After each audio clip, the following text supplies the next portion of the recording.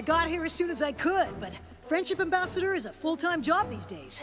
Making peace between Abyssinians and the Diamond Dogs has not been easy. That's why I picked you for the job. But I'm glad you could come. So, what's the emergency? Ever since I took over Celestia's school, my focus has been on teaching magic. But now it seems my top student has missed the most important lesson of all. What do you mean? Let's just say it'll be good to have my royal advisor and friendship ambassador by my side. Your Majesty, she's here. Send her in, Gallus.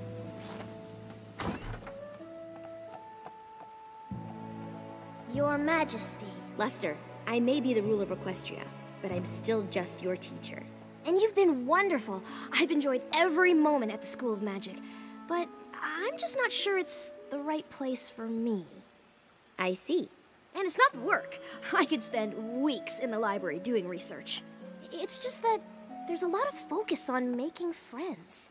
If that's your problem, you've come to the right place. But that's just it. I don't want to make friends. What? So you'd rather leave the School of Magic than make friends? I was hoping to set up an independent course of study. I want to accomplish as much as you have someday. It'll be hard to do that without friends. I'm not so sure. Friendship looks like more of a distraction than anything else, and ultimately, a waste of time. What? I know you and your friends accomplished a lot together, but that was so long ago, and as far as I can see, you rule by yourself now.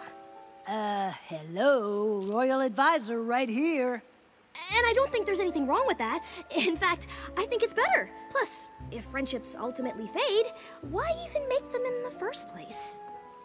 You know what, Luster Dawn? You're right. What?